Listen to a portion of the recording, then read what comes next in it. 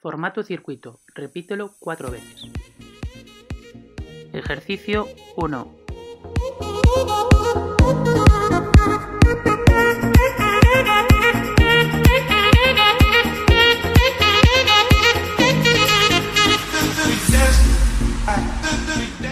Ejercicio 2.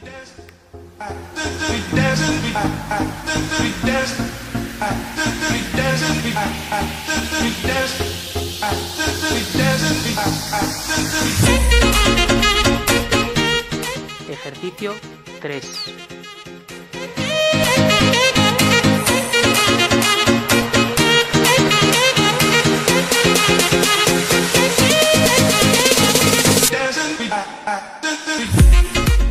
Ejercicio 4.